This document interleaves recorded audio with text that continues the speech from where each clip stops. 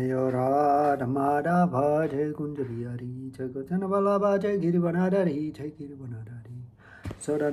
प्रचन रंजनाय, सदानंदन प्रचन रंजनाय। मन धीर हवानाचारी मन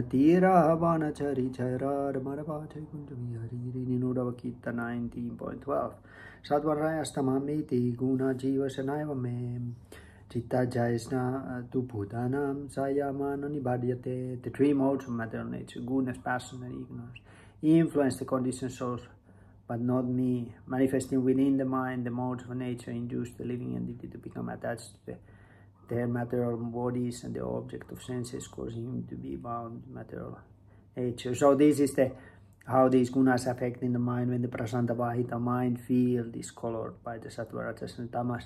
Then the content of that attract the content of the mind which is uh, in the same uh, modes of nature.